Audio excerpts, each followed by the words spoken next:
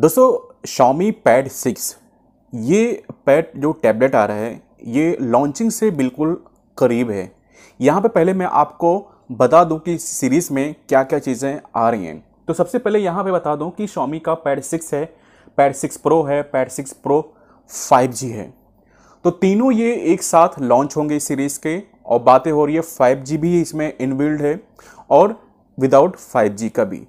तो सबसे अहम चीज़ ये है कि जिसके जो फीचर्स हैं और स्पेसिफिकेशन जो हैं, मैं आपको एक बार और याद दिला दूँ कि 9000 डायमेंसिटी आपको यहाँ पे देखने को मिलेगी।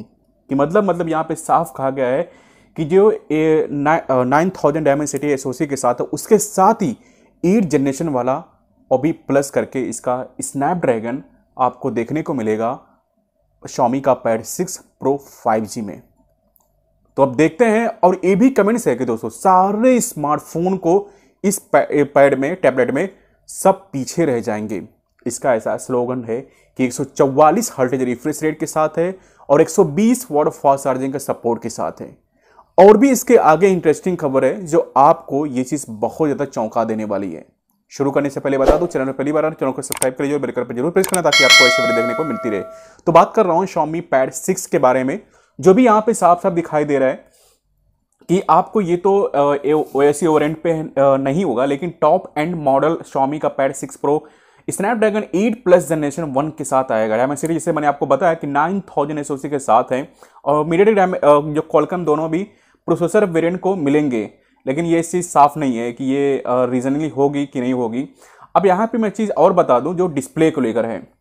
यहाँ पे 144 forty four hertz L T P display है पावरफुल स्पीकर और टैबलेट मी यू आई का बेस्ट नया वर्जन आने की भी उम्मीद है। अफवाहों के तौर पे पता चलता है कि मिड रेंज का फ्लैक्सिब टीयर बेस्ट फॉर मनी प्रपोजल साबित भी होगा। और यहाँ पे अगर हम प्राइस को लेकर बात करें तो प्राइस के लिए यहाँ पे कुछ खुलासा नहीं किया गया है, लेकिन आप एक तीस अंदाज़ा लगा सकते हैं कि एक जनरेशन वाला प्लस वन का दे रहा है। फ्लैक्सिब स्नैपड्रैगन है। फ्लैक्सिब कह लो इसका बैटरी का पावर बैकअप चार्जिंग भी है। फ्लैक्सिब इसका डिस्प्ले भी कह लो। सारी चीज़ आपको ये है इसके लिए। यहाँ पे इन्होंने कमेंट किया है कि Xiaomi पैड सीरीज़ है। कई फ्लैक्सिब स्मार्टफ़ोन को पीछे छोड़ देगी।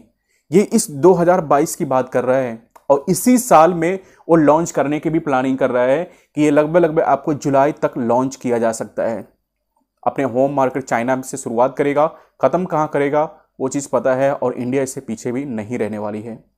दोस्तों, बस उम्मीद करता हूँ कि वीडियो को पसंद आएगी वीडियो को पसंद आए तो प्लीज़ अब लाइक करना शेयर करना, मिलता हूँ मैं नेक्स्ट वीडियो में, तब तक के लिए टेक केयर